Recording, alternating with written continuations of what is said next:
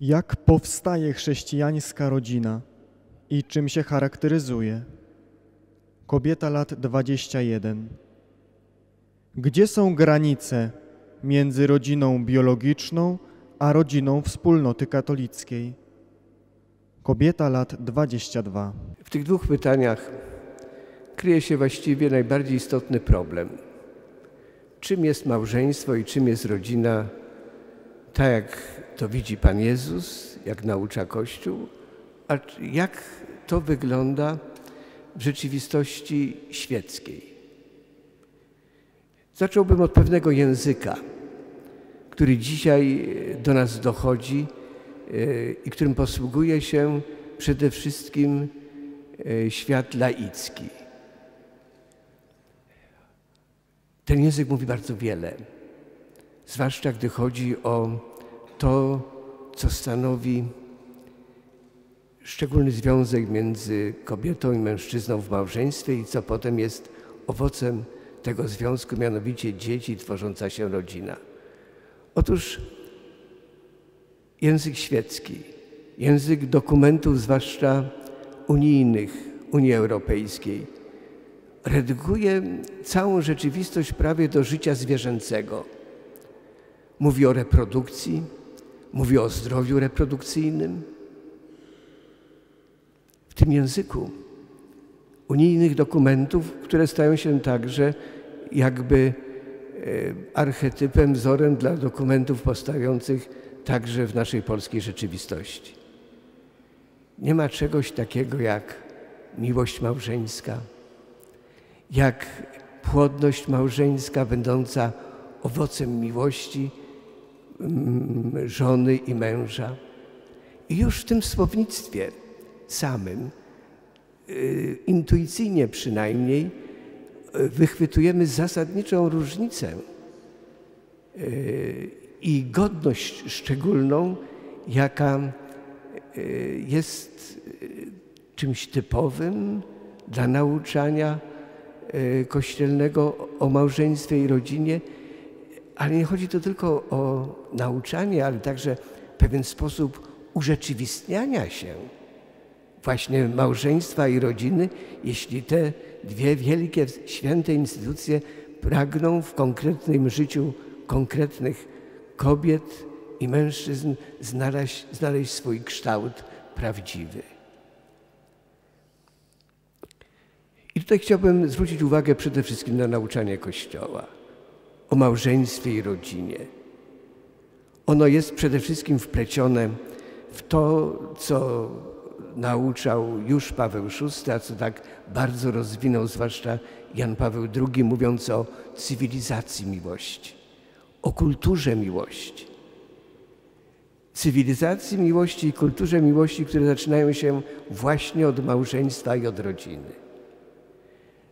A można mówić o cywilizacji, a bardziej jeszcze głęboko o kulturze miłości, wtedy, kiedy te sformułowania znajdują najpierw zastosowanie czy odniesienie bardziej do miłości Boga Ojca, który stwarza świat cały jako dzieło swej miłości, a zwłaszcza z miłości powołuje do życia mężczyznę i kobietę, i chcą, aby oni tworzyli jedno ciało, aby byli płodni, zaludniali ziemię, czynili ją sobie poddaną.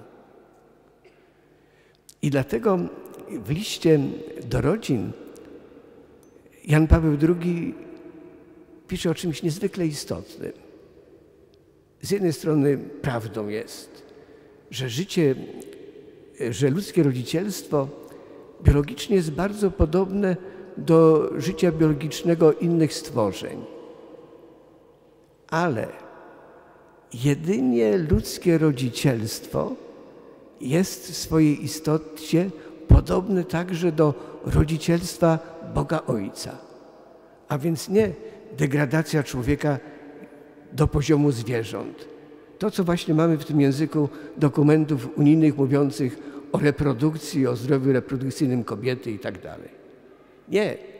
Tu jest mowa o tym, że rodzenie dzieci w małżeństwie, tworzenie rodzin, rodziny jest prokreacją, przedłużaniem dzieła stwórczego samego Boga.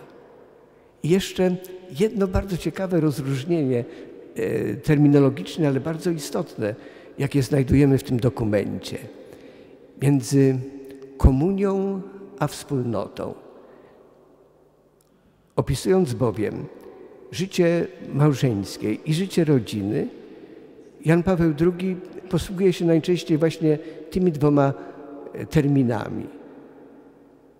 Najpierw komunia, komunio po łacinie.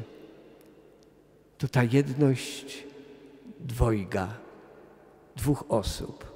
Ja i Ty, niezwykle ścisła, która z samej swej istoty wychyla się ku wymiarowi szerszemu społecznemu i dlatego możemy mówić o wspólnocie, komunione, comunitas.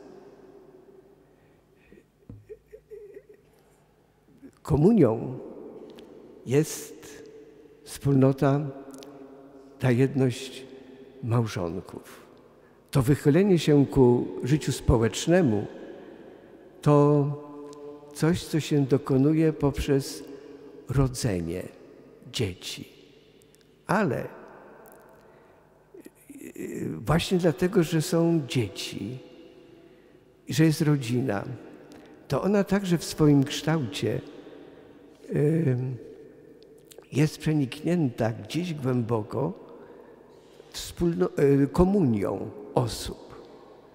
I bywa też także też tak, że ta ścisła komunia, jaka jest w przypadku matki i dziecka, zwłaszcza przed urodzeniem tego dziecka, ona rzutuje na wspólnotę, jaką w tym momencie tworzą ona, dziecko i mąż i ojciec.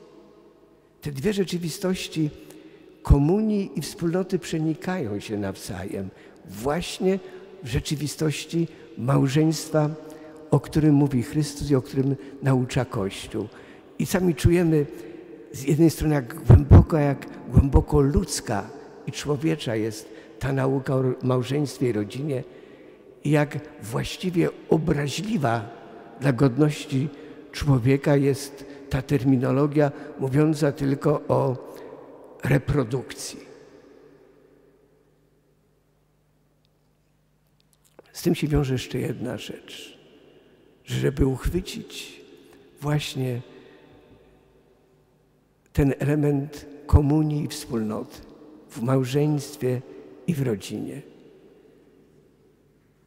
Po pierwsze, brzmi to pięknie.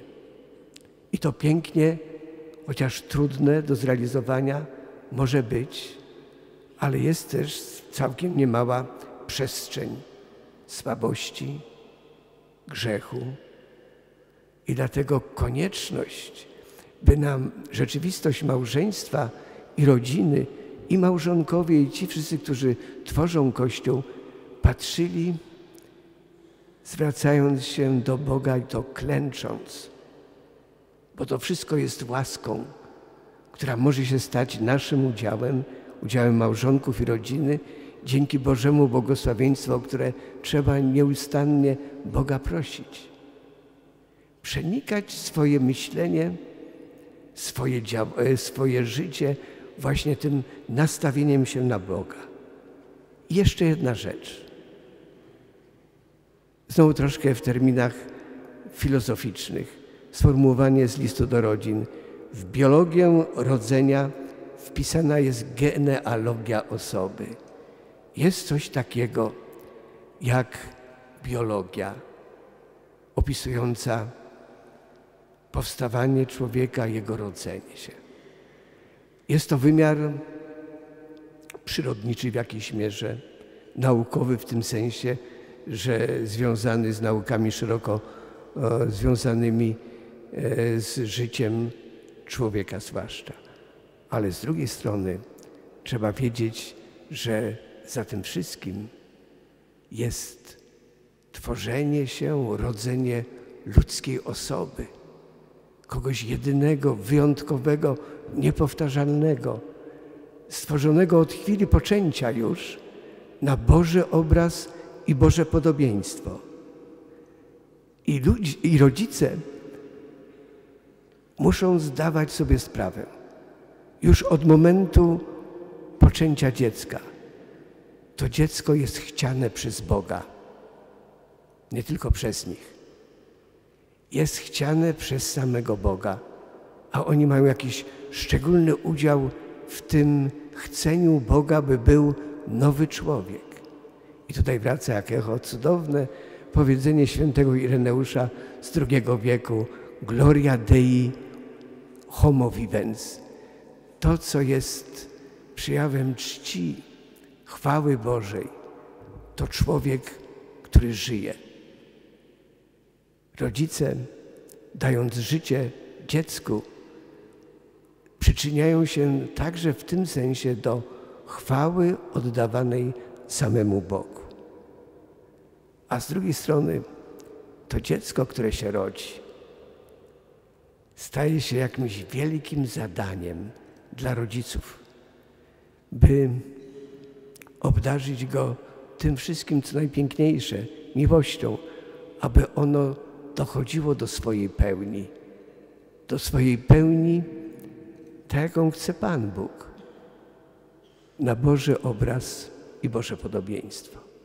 Wzajemne się cudowne przenikanie tego, czego Bóg chce, co może uczynić człowiek i wielka szansa wzrastania w człowieczeństwie małżonków, dzieci, całych rodzin.